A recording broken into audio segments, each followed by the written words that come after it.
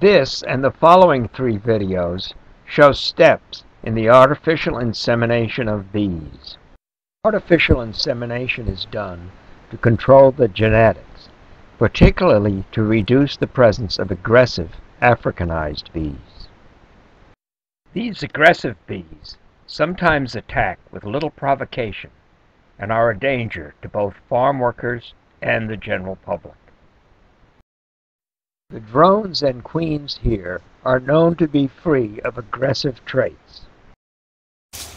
This video shows the collection of drones.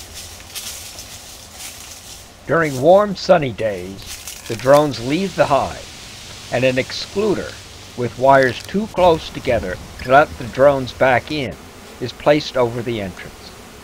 The drones congregate here and Bill can pick them up as they try to re-enter and place them in a drone cage. There's a drone.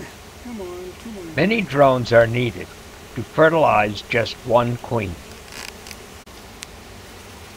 After collection, the drone cage is placed back in the hive until needed for semen.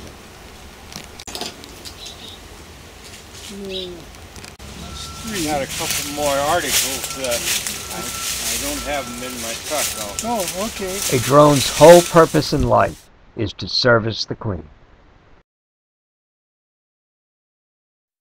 To obtain the semen, Bill grasps the head and thorax of the drone and rolls the thorax until a pair of horn-like cornua emerge. Their yellow-orange color show a sexually mature drone. With further stimulation, the drone ejaculates his semen, and Bill sucks it up into the syringe. That's the semen on the tip of the drone's narrow rect endophallus. Semen from several drones is needed to fertilize one queen.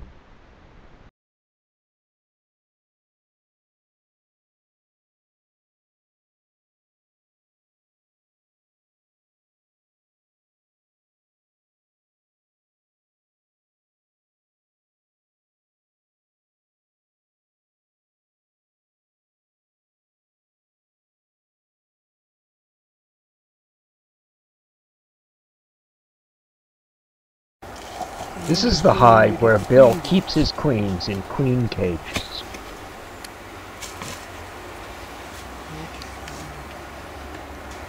He's going to select three queens that appear healthy for insemination.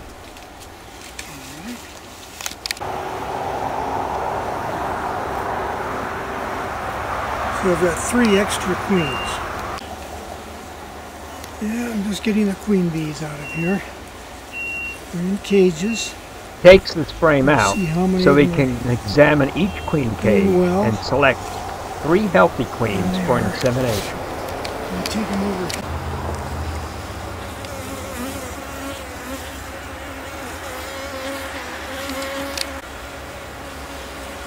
So I just need these cages in here to hold the place.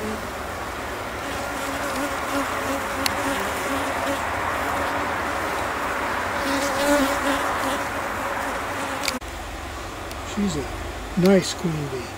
We'll take her and put her in a new home. Here's another one. That's a nice queen. I need three of them. This one, this one hasn't emerged. Hmm. I don't know what's going on. Maybe she will. This is a real nice queen. We'll take her. Bill likes to double check on the status of his queen. See how many do I have in there?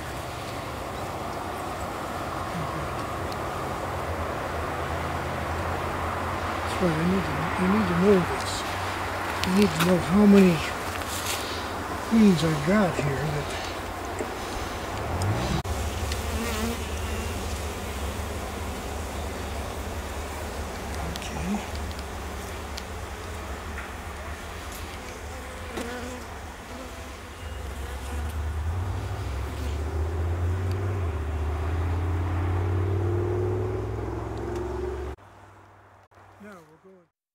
Bill will place the virgin queen in the tube so her abdomen sticks out. He will flow carbon dioxide up the tube to put her out. Then, after she is sufficiently subdued, he will grab a stinger with the forceps and together with the hook expose her vaginal orifice. That's the syringe with the semen on the left, the forceps coming down top center, and the hook coming up from the lower right. Bill starts as soon as the queen is subdued enough to begin to minimize the time the queen is subjected to the gas. Bill grasps the stinger with the forceps and together with the hook exposes her vaginal orifice. Uses the tip of the syringe to bypass the valve fold and injects the semen directly into the median oviduct.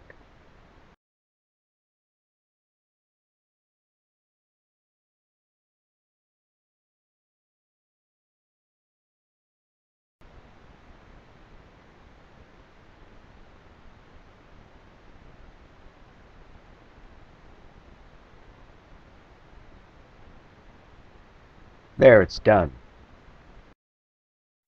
Bill removes the now fully unconscious bee and marks her for identification.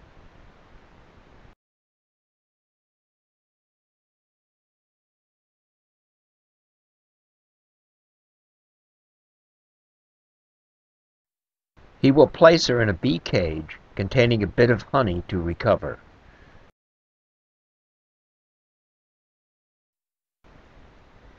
Then, if she seems healthy, next day he places her in her future hive, but still in her cage.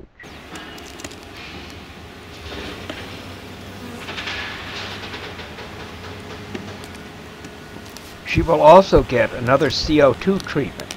This promotes egg production.